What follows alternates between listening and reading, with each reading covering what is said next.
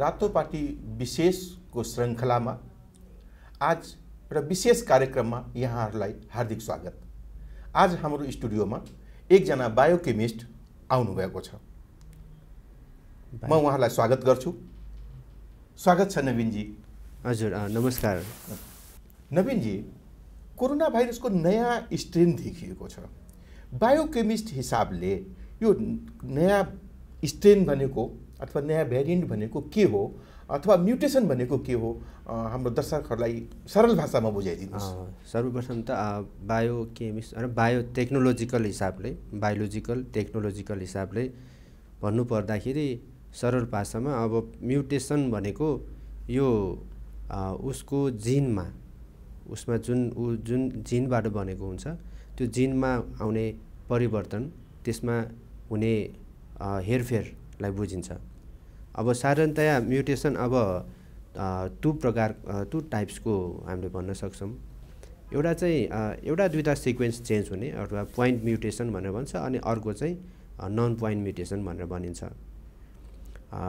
जस्तै अब एउटा इक्जाम्पल है सरको क्वेसनभन्दा अलिक फरक फरकको इक्जाम्पल दिँदा हामी सबैले सिकल सेल एनिमिया भनेर सुनिरहेका छौँ जसलाई रक्त अल्पटा पनि भन्ने गरिन्छ होइन? त्यसमा कारण एउटै मात्र हुन्छ कि हाम्रो आरबिसीमा एउटा सिक्वेन्स चेन्ज भइदिन्छ पोइन्ट म्युटेसन हुन्छ। त्यो हुँदासाथै हाम्रो इलेप्टिकल सेपको आरबिसी त्यो चाहिँ सिकल सेप चन्द्रमा सेपको भइदिन्छ। हो त्यसैलाई भन्छ के हुन्छ सिकल सेल एनिमिया सो यो यो म्युटेसनले के गर्न सक्छ भने यसरी एउटा सानो बाटो पुरै नै परिवर्तन पनि गर्न सक्छ अथवा केही नहुनु पनि सक्छ। यो भन्न सकिँदैन। यो चाहिँ आफ्नो उसको जेनेटिक सिक्वेन्सले डिटर्माइन गर्छ। म्युटेसन भनेको सेलले कपी गर्दा हुने इररलाई बुझिन्छ? यही कुरा हो। अलि साधारण भाषामा बुझ्दाखेरि सेलले चाहिँ कपी गर्दा। अब सेलले कपी भनेपछि सेलले एउटा सेलबाट अर्को सेल बनाउँछौँ। त्यही बनाउँदाखेरि अरू अरू पनि बन्छ र त्यस लगतै डिएनएका कुराहरू पनि एउटाबाट अर्को हुन्छ। र त्यो टाइममा रेप्लिकेसन हुनेमा इरोरको कारणले पनि म्युटेसन हुन्छ एउटा यो अनि अर्को बाहिरी तत्त्वले पनि हुन्छ। सो म्युटेसन हुने दुईवटा कारण पनि भन्न सक्छौँ। एउटा चाहिँ आन्तरिक कारण एउटा चाहिँ बाहिरी कारण। आन्तरिकमा सरले भन्नुभएको जस्तो उसले कपी गर्ने टाइममा इरोर भएको र इरोरलाई चाहिँ उसको बडीको मेकानिजमले करेक्सन गर्न नसकेको कारणले भन्ने कुरा हो। अनि बाह्य कारणमा के आउँछ? अब बाहिरी कारणमा तपाईँको जस्तै अब यो तपाईँको रेडिएसनहरू भयो अब मस्टली हुने भनेको यो युभी रेडिएसनका कुराहरू भयो। अनि त्यस्तै विभिन्न केमिकल्सहरू। अब भन्छौँ नि त हामीले चाहिँ अब जस्तै अरू चिजहरू अब यो चाहिँ चुरोट खैनीहरू खाँदाखेरि क्यान्सर हुन्छ। बढी। हो त्यो पनि एउटा म्युटेसनको कारणले हो होइन?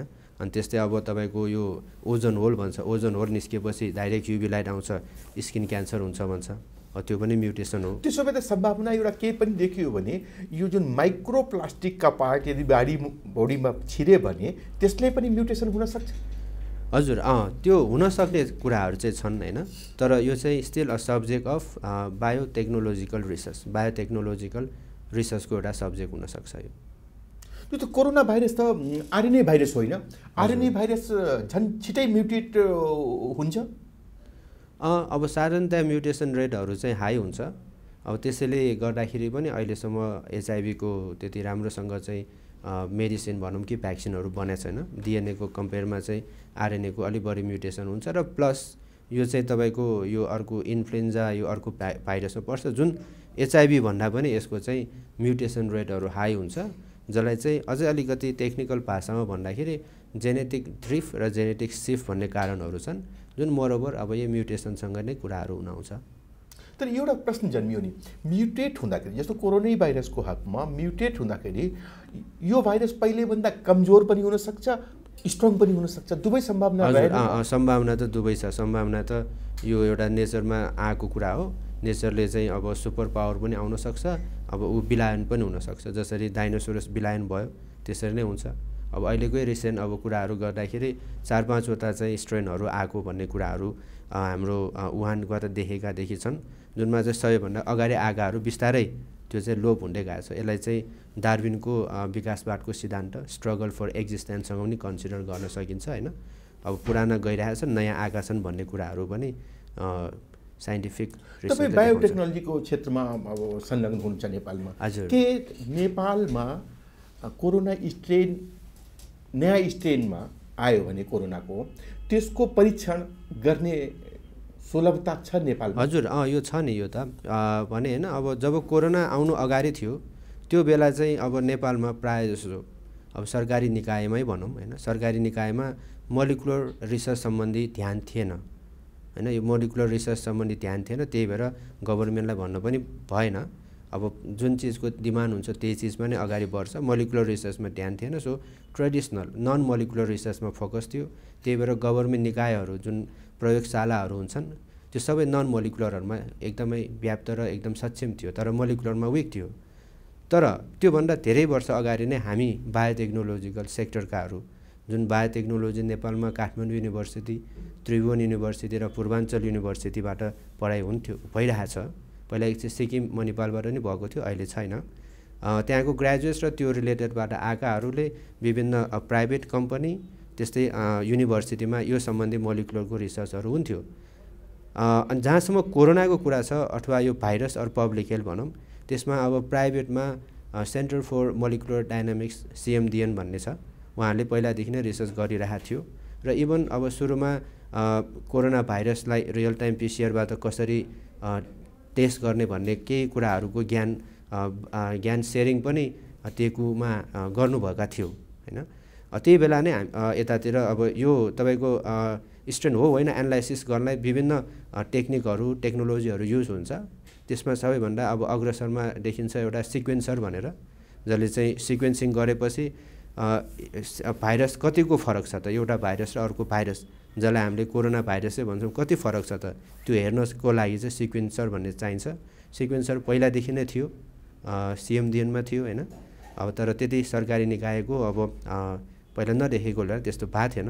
अब अहिले कोरोनाको कुराले गर्दा अब सरकारी निकाय पनि मोलिकुलरमा इन्ट्रेस्ट भएको छ। हस्पिटल होइन इभन क्लिनिक पोलिक्लिनिकहरूमा पनि पिसिआर मोलिकुलरका कुराहरू चाहिँ अब व्याप्त छ। अब समसामयिक अब सानातिना बच्चादेखि लिएर ठुला बुढाबुढाहरूसँग पनि ती गफी गफमा पिसिआरका कुराहरू आइसकेका छ होइन। अब एकदम एडभान्स सिक्वेन्सर ट्रिबुन युनिभर्सिटीमा पनि आइसकेका छ। त्यसै अब राज्यले चाहिँ अब राम्रोसँग अनुगमन गरेर हेर्ने हो भने बाहिर पठाउनु पर्ने जरुरत छैन। यहीँ गर्न सकिने अवस्था त्यसो तपाईँले भाइरसको म्युटेसनलाई डार्विनको विकासवादसँगै जोड्नुभयो। त्यसो भए यो कोरोना भाइरसमा जुन म्युटेसन भएर नयाँ स्ट्रेनभन्दा नयाँ भेरिएन्ट देखिएका छन् यो कुनै अचम्म लाग्दो कुरा नौलो कुरा त होइन रहेछ। होइन नौलो कुरा त कुनै पनि होइन। अब जसरी पहिला डाइनोसरस थियो अहिले छैन। अब हामी छौँ पछि के हुन्छ होइन? त्यो त तपाईँको नेचरको नै हो। नेचरबाट भइरहेको हुन्छ। अब जसले अब ट्याकल गर्न सक्छ त्यो अगाडि बढ्छ। ट्याकल गर्न सकेन भने कि त्यो भाइरस विलिन हुन्छ। यदि उसँग एबिलिटी छ ट्याकल गर्ने खुबी छ भने म्युटेट हुँदै गएर अझै अगाडि बढ्न सक्छ। यो हामीलाई वैज्ञानिकहरूलाई पनि थाहा छ र विभिन्न भ्याक्सिन म्यानुफ्याक्चरर र विभिन्न संसारभरि बायोटेक्नोलोजीहरूले यो कुरा बुझाएको छ र यो ट्याकललाई नै उनीहरू चुनौतीको लागि रात दिन चाहिँ अनुसन्धानहरू वैज्ञानिक अनुसन्धानहरू गरिरहेका छन्। नवीनजी जस्तो कोरोना भाइरस आउनुभन्दा पहिला सर्वसाधारणलाई आरएनए डिएनए अथवा अहिले जुन भ्याक्सिन निक्लियो एमआरएनए भ्याक्सिन आरएनए विषय र डिएनए विषयमा थाहा थिएन। म- सामान्य मान्छेले डिएनए मात्रै बुझ्थ्यो। यो आरएनए र डिएनएलाई सरल भाषामा व्याख्या गर्दाखेरि कसरी भन्न सकिन्छ? अब यो आरएनए र डिएनए अनि भन्न खोज्दाखेरि साधारणतया जस्तै अब हामीले हामी सबै जन्म हुँदाखेरि एउटा सेलबाट हुन्छ जसलाई जाइगोट भन्छ होइन? अब त्यो जाइगोटबाट तपाईँ हामी जस्तो यस्तो ठुलो जसलाई जाइगोट भनेको माइक्रोस्कोपमा पनि हेर्न गाह्रो र अहिले हामी आँखाले हेर्ने। यो जुन बनेको छ नि यो डिएनएको बार हो। होइन? अब यो जुन हामी देखिरहेछौँ अब यो फेनोटाइप भन्छ जसलाई मोरओभर प्रोटिन भन्ने कुराहरू गर्छौँ। होइन? अनि जुन हाम्रो क्रोमोजोममा हुन्छ जिनहरू त्यसलाई डिएनए भन्यौँ। अब यो डिएनएबाट डाइरेक्ट चाहिँ के हो त भन्दाखेरि यस्तो प्रोटिन बन्दैन। त्यसमा एउटा इन्टरमिडिएट हुन्छ बिचको मलिकुल हुन्छ जुन एकदमै सर्ट लिभ भनेको मतलब उसको चाहिँ एक्जिस्टेन्ट एकदम कम लाइफ स्पान एकदम। एकदम कम हुन्छ। हो त्यसलाई भन्छ आरएनए होइन? अब मोर स्पेसिफिकली भन्दाखेरि एमआरएनए भनेर भनिन्छ। सो भन्दाखेरि अब तपाईँको प्रश्नमा डिएनए आरएनए प्रोटिन के हो त भन्दाखेरि अब हामी एउटा सिङ्गल सेलबाट यसो मल्टिसेलुलर हामी बनाएछौँ नि त्यस बिचमा चाहिँ रोल खेल्नेलाई चाहिँ हामीले चाहिँ आरएनए भनेर पनि साधारण भाषामा बुझ्न सकिन्छ। त्यसो भए डिएनए आरएनए र प्रोटिन हजुर। यो तिनवटा बेग्लै बेग्लै कुरा भए। हजुर अँ डिएनएबाट अब जन्म भएर आरएनए बन्छ। आरएनए भएर जन्म भएर प्रोटिन बन्छ त्यो हिसाबले डिएनए इट्सेल्फ केले? डिएनए इट्सेल्फ पनि प्रोटिन हो कि होइन? होइन। डिएनए इट्सेल्फ प्रोटिन होइन यो न्युक्लिक एसिड हो। यसलाई अझै भन्नुपर्दाखेरि तपाईँको लिभिङ अर्ग्यानिजम होइन। अब हामी भयौँ जुन पनि संसारमा भएको जुन पनि लिभिङ अर्ग्यानिजम चारवटा बायोमोलिकुल्सहरूले बनेको हुन्छ। चारवटा बायोमोलिकुल्सहरूले बनेको हुन्छ। एउटा भनेको कार्बोहाइड्रेट जुन हामीले सुनिरहेको हुन्छ कार्बोहाइड्रेट अर्को भनेको लिपिड जुन हामीले चिल्लो पदार्थहरू भन्छौँ अनि अर्को भनेको प्रोटिन मासुजन्य भनौँ न अनि अर्को भनेको न्युक्लिक एसिड। यो चारवटा बायोमोलिकुल्स र पानीसँग मेल खाएर नै संसारभरिका लिभिङ अर्ग्यानिजम हुन्छ।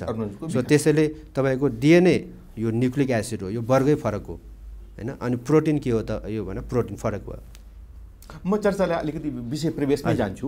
जस्तो भ्याक्सिन भनिएको छ अहिले। पहिला अक्सफोर्डले जमानामा डेभलप गरेको भ्याक्सिन जुन रेगुलर एउटा भाइरसकै विक भाइरसलाई लिएर प्रयोग गरिन्थ्यो भ्याक्सिनमा। र अहिले नयाँ प्रविधिको भ्याक्सिन आछ एमआरएनए भ्याक्सिन। हजुर। यो दुवैमा के भिन्नता छ? यसमा चाहिँ अब यो सेफ्टीका कुराहरू भयो इफिकेसीका कुराहरू भयो होइन?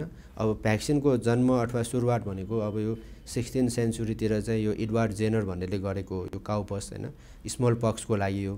अब त्यो बेला चाहिँ भाइरस नै राखिन्थ्यो। अनि त्यसमा के चान्स हुन्थ्यो भन्दाखेरि त्यो भाइरस आफै फेरि रोग निको पनि पार्न सक्छ अथवा झन् बल्झाउन पनि सक्थ्यो होइन? अब पोलियो भ्याक्सिन भन्छौँ त्यसमा पनि पोलियो भाइरसै राखेको हुन्छ। र संसारभरि स्ट्याटिक्स के छ त भन्दाखेरि अब लाखौँमा एउटालाई चाहिँ त्यो आफैले पोलियो लगाउँछ भन्ने पनि स्ट्याटिक्सहरूका कुराहरू छ। सो यस्तो कुराहरू छ र फेरि यो भ्याक्सिनहरू त अब निट नै भइरहेको हुन्छ। जन्मदेखि लिएर मृत्यु पर्यन्तसम्म राख्नुपर्छ। त्यही भएर साइन्टिस्टहरूले चाहिँ रिसर्च गर्ने थाल्यो।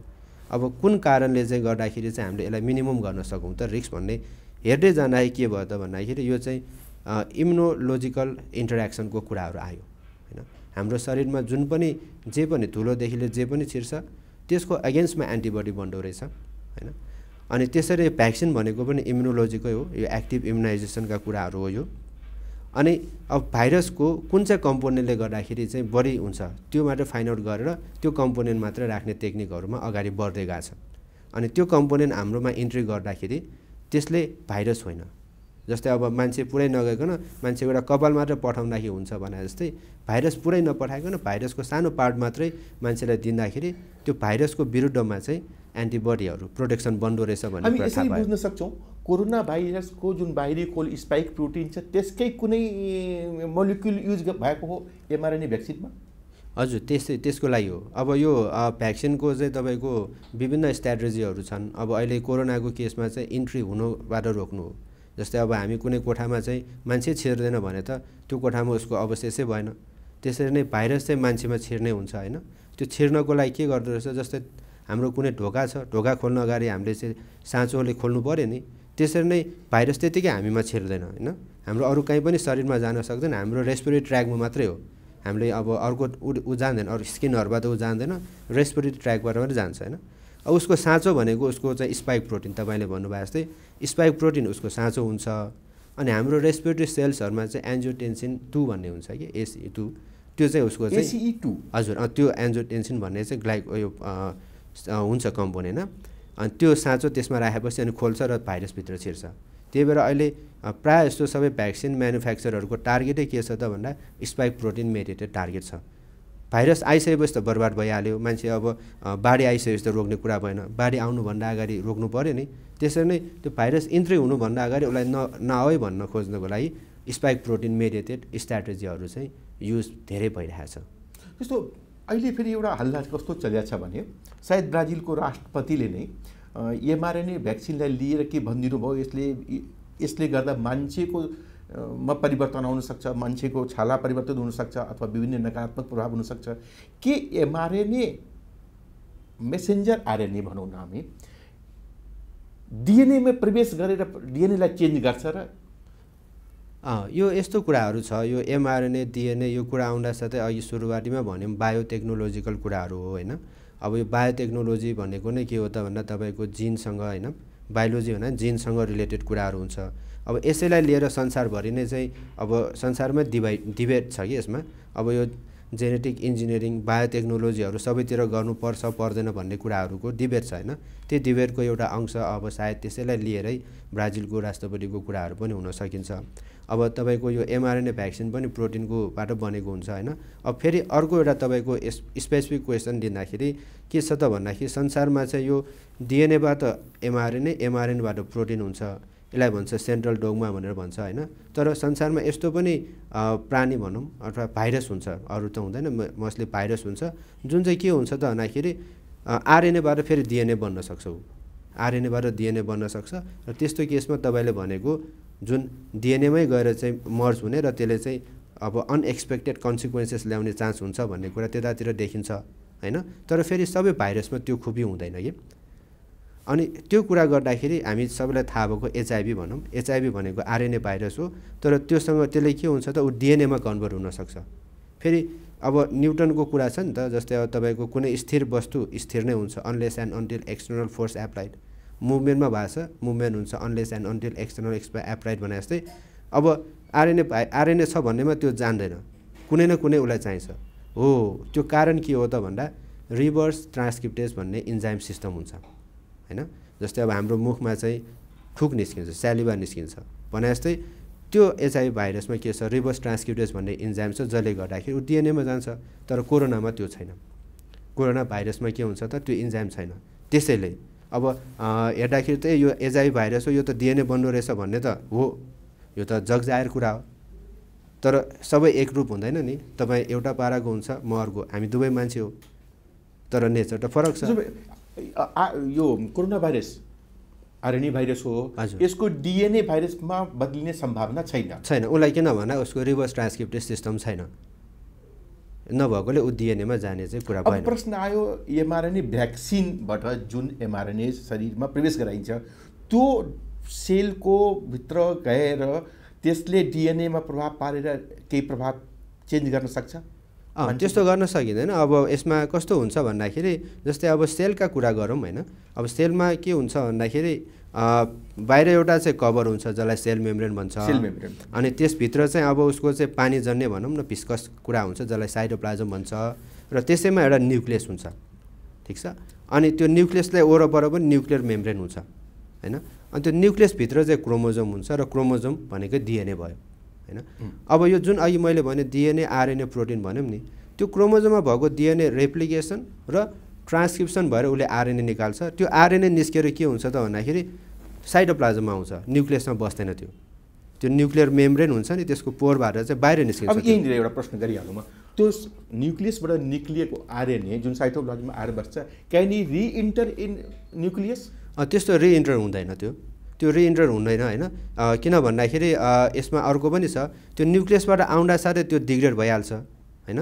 त्यसलाई चाहिँ प्रोटेक्सन गर्नलाई अर्को राइबोजोमहरू आइहाल्छ कि त्यो चाहिँ। त्यो फेरि रिइन्टर हुँदैन। अब त्यो ब्याक्टेरियाहरूको केसमा चाहिँ अब त्यो सँगसँगै हुने कुराहरू छन् होइन? अब हामी युक्यारेटिक सेल भन्छ त्यो चाहिँ रिइन्टर हुँदैन। अनि त्यसपछि त्यसमा राइबोजोमहरू बसेर प्रोटिन निकाल्ने हो। अब एमआरएनए भ्याक्सिनको कुरा गर्दा अघि मैले भने नि सबैले के हो त स्पाइक प्रोटिन नै हो होइन? अब त्यो प्रोटिनको चाहिँ सिक्वेन्स गर्छ। सिक्वेन्सिङ गरेर त्यो प्रोटिनको डिएनए के हो र उसको एमआरएन के हो सिक्वेन्सहरू पहिल्यै थाहा भएको छ होइन? हो त्यसलाई बनाएर चाहिँ एमआरएन चाहिँ ल्याबमा बनाएको हुन्छ र त्यो एमआरएनए चाहिँ हाम्रो सेलमा पठाइदिन्छ होइन? तर फेरि अलिक केही मोडिफिकेसनहरू गरे हुन्छ अनि हाम्रो सेलमा चाहिँ त्यो भाइरसको जुन साँचो भन्यौँ नि साँचो भनेको थियौँ नि त उसको स्पाइक प्रोटिन। हाम्रो शरीरमा बनाइदिन्छ। तर भाइरस होइन फेरि अलिकति मोडिफाइड इन्फेक्ट नभएको। होइन?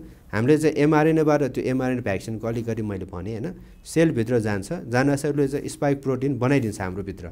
फेरि भाइरसको जस्तै होइन कि इन्फेक्सन नहुने खालको। फेरि भाइरस पनि होइन। अनि स्पाइक प्रोटिन बनाउँदा साथै अब हाम्रो सेलले चाहिँ अब त्यो फोरेन पार्टिकल भनेर एन्टिबडी टी सेल बिसेल्सहरू सब त्यसमा चाहिँ बनाइदिन्छ। अब बनाएपछि के हुन्छ त भन्दाखेरि अब अलरेडी भइसकेको छ। अब भाइरस आयो भने पनि छुन सक्दैन। किन भन्दाखेरि हाम्रो सेलले थाहा पाइसक्यो उसको साँचो यो साँचो त्यो भनिसकेपछि उसले चाहिँ त्यो एन्जोटेन्सन ढोका बन्द गरेर बस्छ। अनि त्यस्तो भएपछि अब चाहिँ प्रोटेक्सन भयो भन्ने कुरा हो। यस्तो छ होइन। त्यसो भए यस आधारले त पहिलाको भ्याक्सिन भन्दा जसमा भाइरस नै पठाइन्थ्यो यो भ्याक्सिन धेरै सुरक्षित हुनुपर्ने होइन र? भ्याक्सिनको अब टेक्नोलोजीको हिसाबले चाहिँ सुरक्षित हुनुपर्ने हो। अब यो सैद्धान्तिक कुराहरू हो होइन? अब प्र्याक्टिकलमा गइसकेपछि अब छैन छ। जस्तै अब एउटा तपाईँको फिजिक्स भन्यो भने अब एउटा साइन्स अफ एब्सोल्युट भन्ने कुराहरू गर्छन्। तर बायोलोजी भनेको चाहिँ साइन्स अफ एक्सेप्सनका कुराहरू हुन्छ।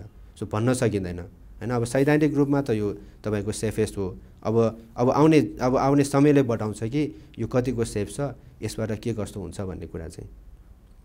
त एमआरएनए भ्याक्सिनसँग त एउटा बडो ठुलो समस्या के रहेछ भने यसलाई रिजर्भ गर्नलाई राख्नलाई माइनस सेभेन्टीभन्दा बढी तापमान चाहिने हजुर अँ यही भने होइन अब तपाईँको के हो त भन्दाखेरि अब लिभिङ अर्ग्यानिजम देख्नको लागि चाहिँ अब अब हामीले अहिले मलिकुलर कुरा गर्दाखेरि तिनवटा कम्पोनेन्ट अब सबैभन्दा चाहिँ इम्पोर्टेन्ट देखियो डिएनए एमआरएनए र प्रोटिन होइन। अब यिनीहरूमध्ये सबैभन्दा स्टेबल चाहिँ प्रोटिन हुन्छ त्यसैले हाम्रो शरीरहरू भनौँ न मान्छेको प्रोटिनहरू देखिरहेछन्।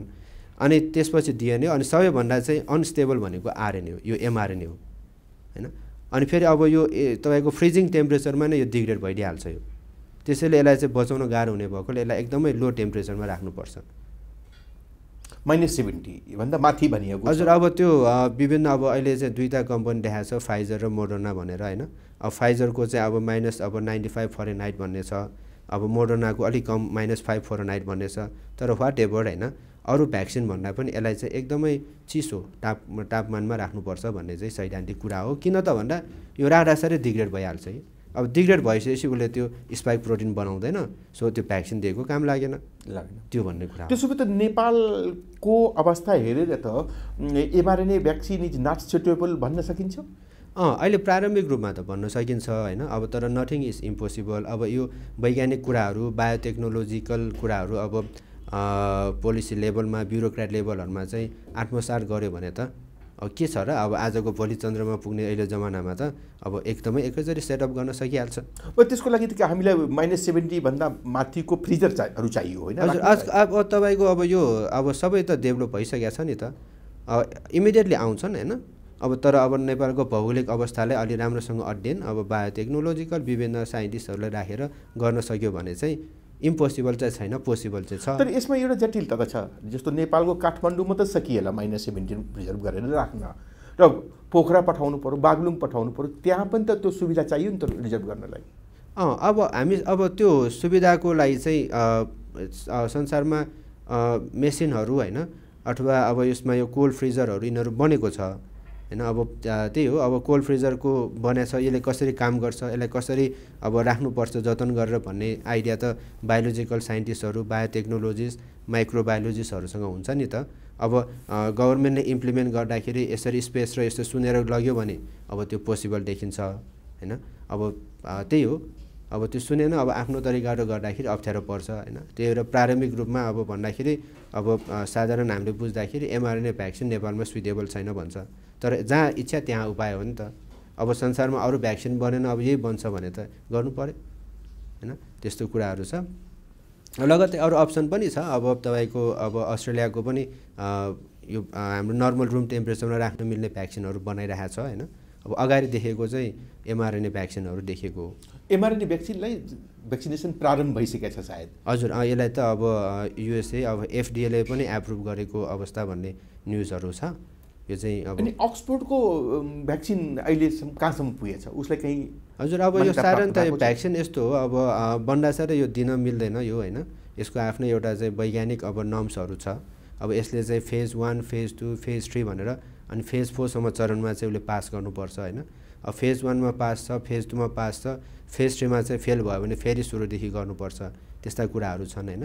अब अहिले यो कोरोनाको महामारी युद्ध स्तरको भएको कारणले गर्दाखेरि फेज फोर नगइकन फेज थ्रीमा नै सक्सेस भयो भने चाहिँ त्यसलाई चाहिँ मान्छेमा चाहिँ युज गर्नलाई अथोरिटी दिने कुराहरू छन्। त्यसैको कुरा हो यो मोडर्ना फाइजरहरू पनि फेज टूमा सक्सेस भयो। तिस हजार जति अमेरिकनहरूको नागरिकमा गर्दाखेरि सक्सेस भयो भनेर चाहिँ अगाडि बढायो हो होइन? अब मोडर्ना अब यो एस्ट्राजेनिका अथवा अक्सफोर्ड भनौँ न अब फेज थ्री ट्रायलमै छन्। अब त्यो कम्प्लिट भयो भने यिनीहरू पनि अगाडि आउँछ। जस्तो अब कोरोनाको भ्याक्सिनको एउटा कुरा के आइरहेछ भने यसको दुईवटा डोज लिनुपर्छ। र यसले भनेको एन्टिबडी तिनदेखि पाँच महिना मात्रै रहन्छ कि त्यसपछि फेरि मान्छेले भ्याक्सिनेसन सधैँ लिइराख्नुपर्छ यो? यो यस्तो यो चाहिँ यस्तो परिरहेको छ होइन। अब तपाईँको भ्याक्सिनको नेचरहरू हो नि त। जस्तै अब पोलियो भनेपछि एकचोटि खुवाउँदाखेरि हुने भन्ने कुराहरू हुन्छ पछि खाइराख्नु पर्दैन नि त होइन।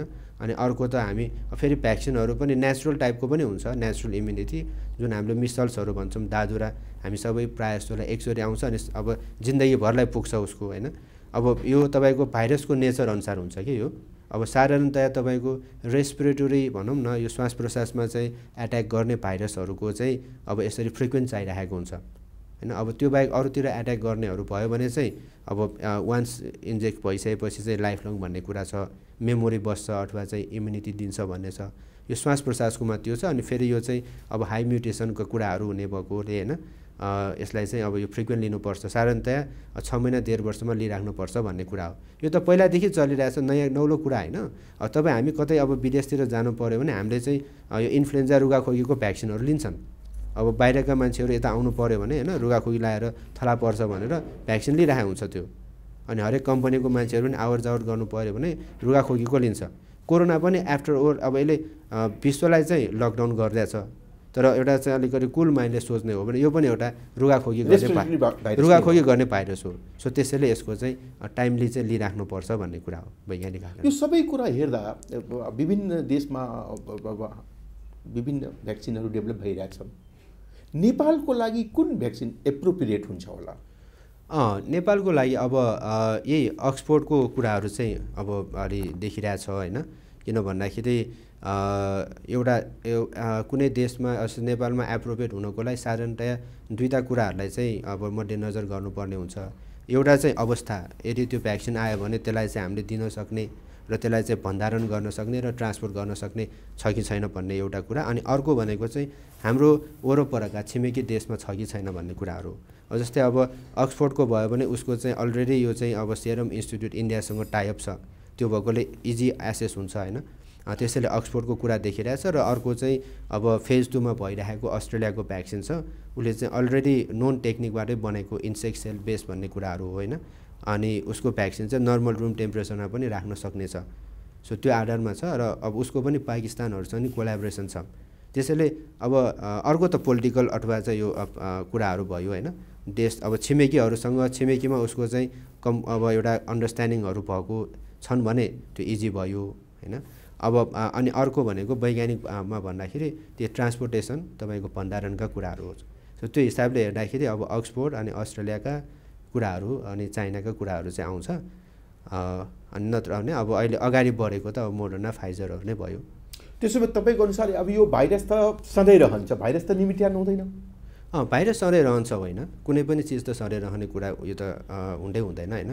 नथिङ इज पर्मानेन्ट यो अब एक न एक चाहिँ त यो भइहाल्छ। अब एउटा रेकर्डले पनि देखाएको छ यसको पहिलाको चिजहरू बिस्तारै कम भइरहेछ नयाँतिर गइरहेछ भन्ने कुरा हो। अब हामीले कसरी इम्युनिटी दिन्छौँ त? अब त हामीले हामी एउटा कुरा एउटा कुरा जान्न मन लाग्यो। जसरी इन्फ्लुएन्जाको भाइरस त सधैँ रहिरहेछ। त्यस त्यो निमिट्यान त भएको छैन। म्युटेन्ट भएको छ। जस्तो रुगाखोकी त सधैँ लाग्छ नि त। तर तपाईँको रुगाखोकी लाग्छ राइनो भाइरस उसको धेरै स्ट्रेन छ नि त म्युटेन्ट भएको। सही स्ट्रेन छ नि त। यसरी नै कोरोना भाइरसको विभिन्न म्यु स्ट्रेन आएर। यो रहिरहने सम्भावना कतिको छ? यस्तो कुरा हो। अब रहिरह्यो भने पनि त्यसले इन्डेमिक भइदिन्छ कि?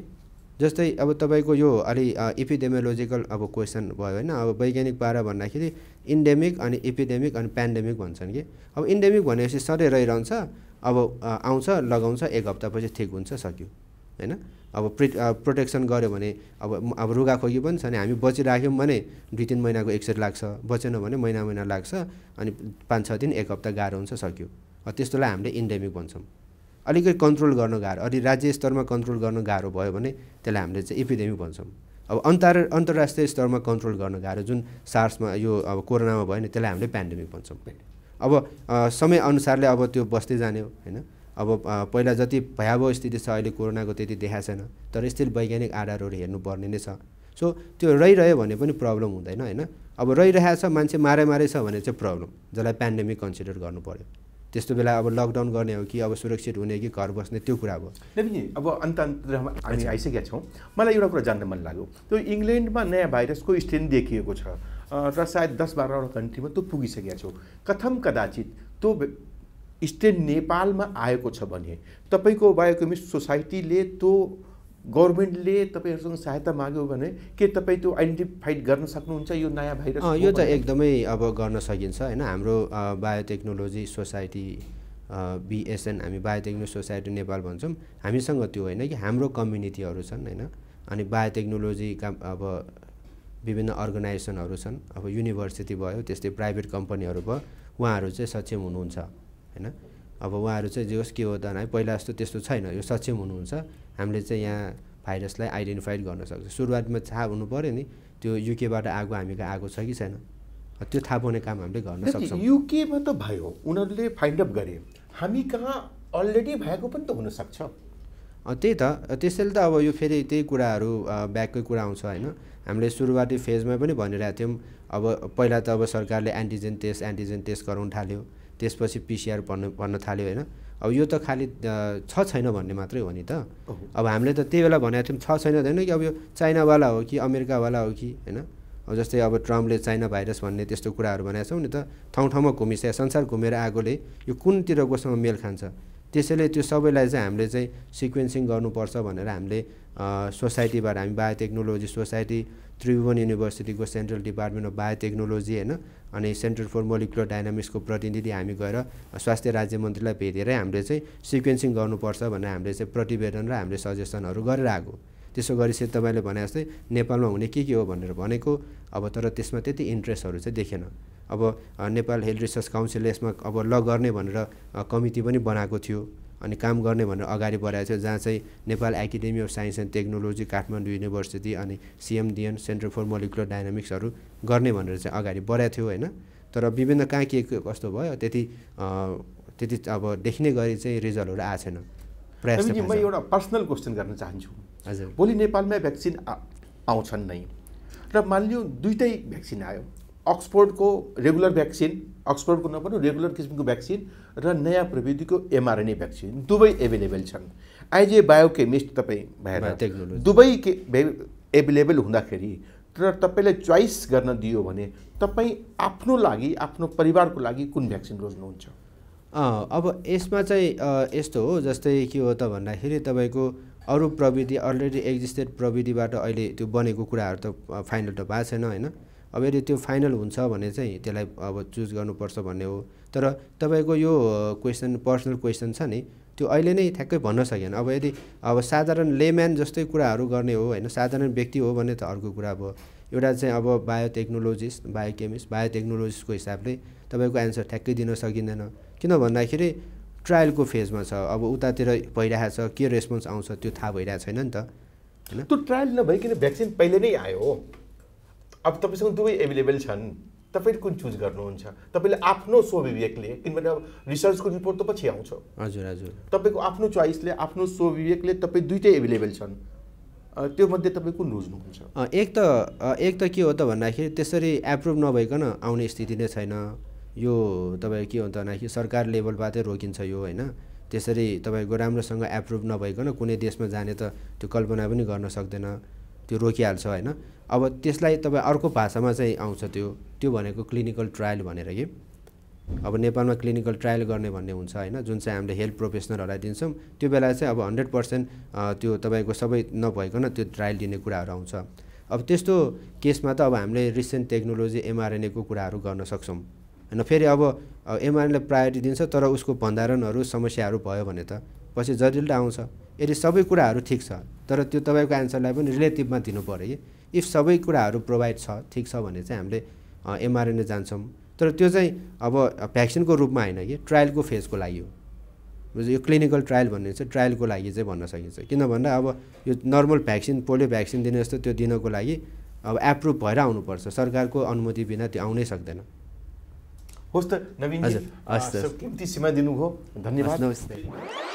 Thank